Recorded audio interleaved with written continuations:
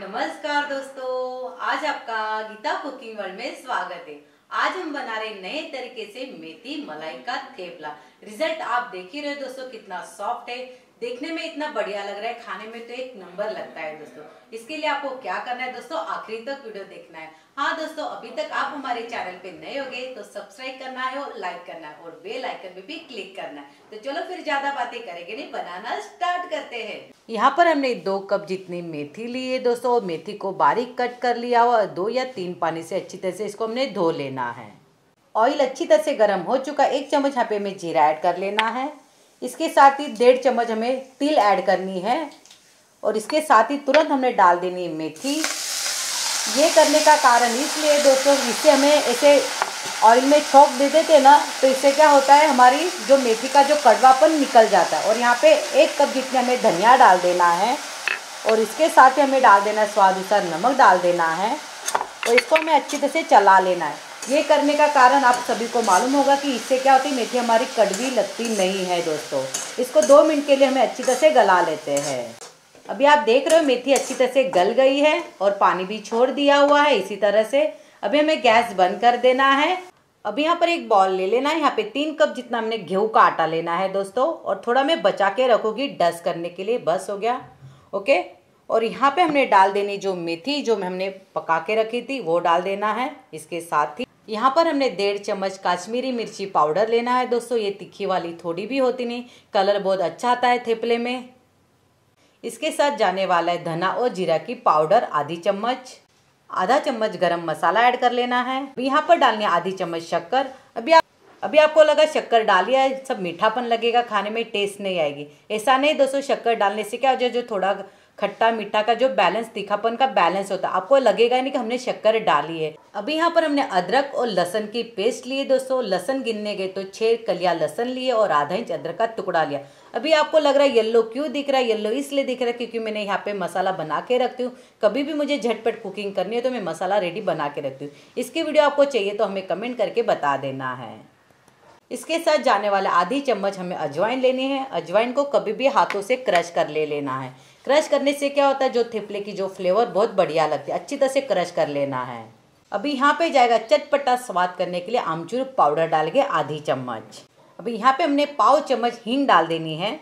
यहाँ पर डालेंगे अभी फ्रेश वाला दही तीन चम्मच। ज़्यादा दही दही नहीं डालना है दोस्तों, ज़्यादा दही डालने से क्या होता है, थेपला हमारा ज़्यादा टिकता नहीं है दोस्तों। फिर एक या एक हफ़्ते से अंदर ही ख़राब हो जाता है। तो आपने सजेस्ट में करूँगी तीन चम्मच फ्रेश वाला दही डालना खट्टा वाला दही यहाँ पर हमें यूज़ थोड़ा भी नहीं करना है। अभी यहाँ पर हम डालेंगे घर की मलाई।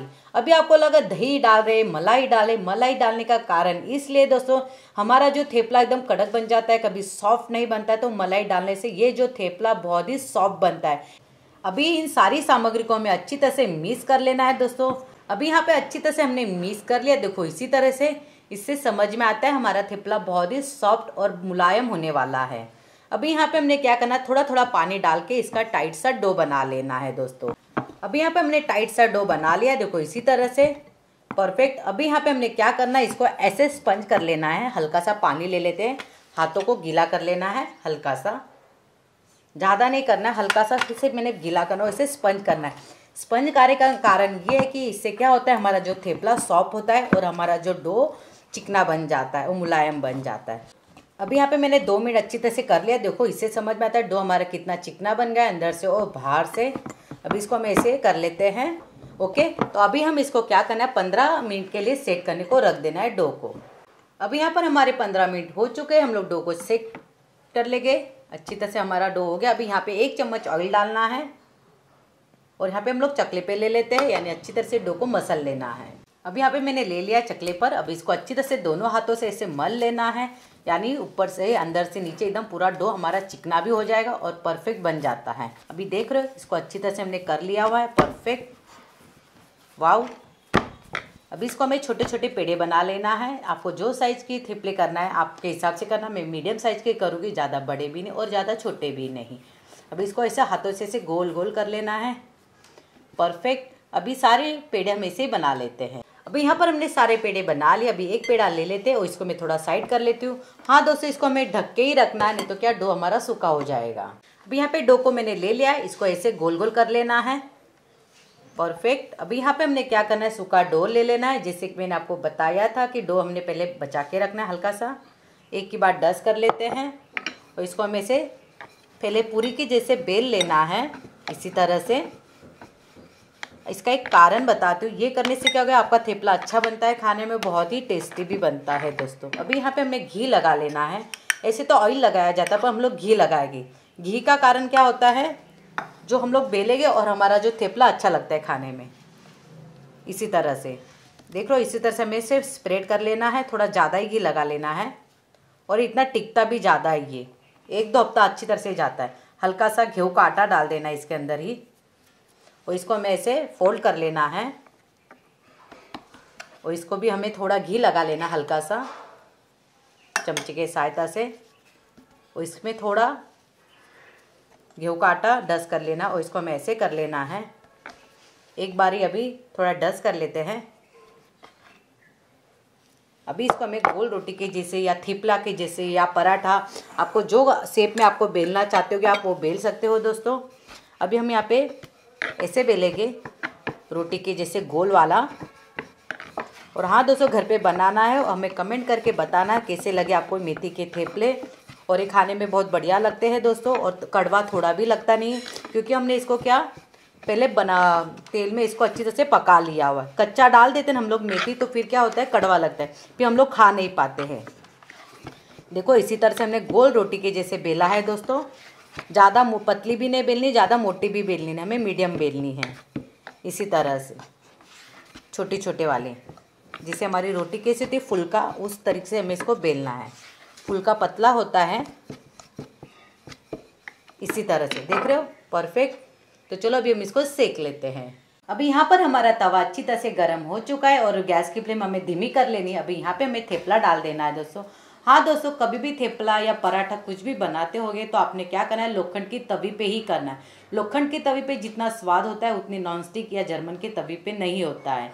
देख रहे हो, अभी इसको हमें ऐसे पलटी कर लेना है। और गैस की फ्लेम धीमी करनी फास्ट गैस पे हमें कभी भी थेपला या पराठा सेकना नहीं। जितनी धीमी आँच पे आप सेकोगे, उतना ही थेपला हमारा अच्छी तरह से खाने में स्वादिष्ट बनेगा और सॉफ्ट बनेगा। देख रहे हो, इसी तरह से हमने हाथों में लगा लेना है, इसी तरह से। अभी यहाँ पे हमने घी डालना है। हाँ दोस्तों, आप ऑयल बटर किसी के साथ भी इसको सेक सकते हो।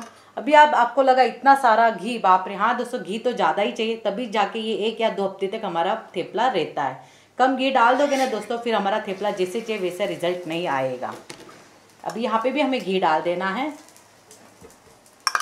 और इसको अच्छी तरह से सेक लेना है। और गैस की फ्लेम हमें धीमी ही रखनी है। फास्ट गैस पे हमें करना नहीं है दोस्तों। वाह, कलर देख रहे हो, इसको ऐसे ऐसे चमचे के साथ, इसको ऐसे ऐसे सेकते जाना। यानी ये सारी जगह से एकदम पक जाता है। कच्चापन हमें लगता नहीं तो हम लोग क्या जल्दी जल्दी सेक लेते हैं ना तो फिर गले में से ज़्यादा सा भारी भारी सा लगता है। अभी हमारा पराठा रेडी हो गया तो चलो बाकी के सारे पराठे इसे ही बना लेते हैं। देखा ना दोस्तों, कैसे बना दिया हमने झटपट मेथी का थेपला।